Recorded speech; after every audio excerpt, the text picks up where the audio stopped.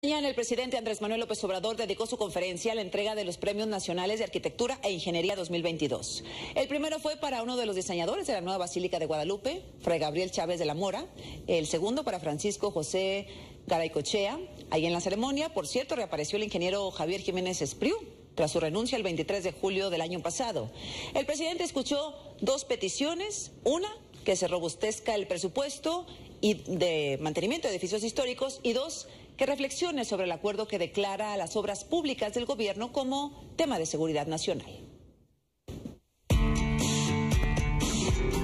Podemos constatar con el reconocimiento que se otorga a Fray Gabriel Chávez de la Mora, el Premio Nacional de Arquitectura, que es precisamente la arquitectura la que ha hecho arquitecto a este gran mexicano, hombre ejemplar de su tiempo.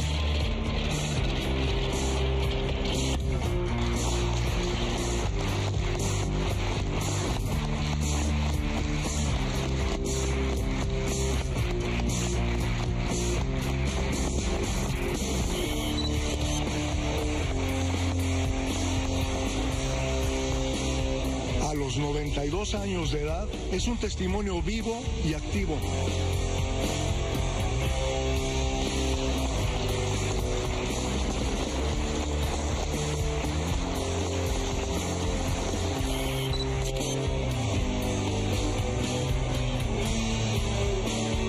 Nos eh, da mucho gusto que en Palacio Nacional se entreguen estos. Debo el tiempo, los años y hasta sismos. Señor presidente de la República, hoy no es un lugar común, sino un sincero reconocimiento a la Asociación de Ingenieros y Arquitectos de México por la magnífica decisión de otorgar al ingeniero petrolero Francisco Garaycochea Petridena el Premio Nacional de Ingeniería 2020.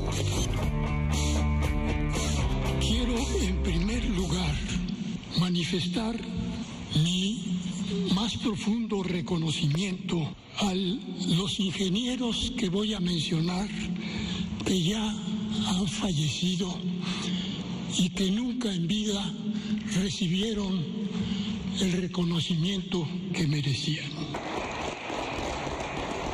Por ello pugnamos por la transparencia y lo invitamos a reflexionar sobre el acuerdo publicado recientemente y que declara diversas obras públicas como de seguridad nacional.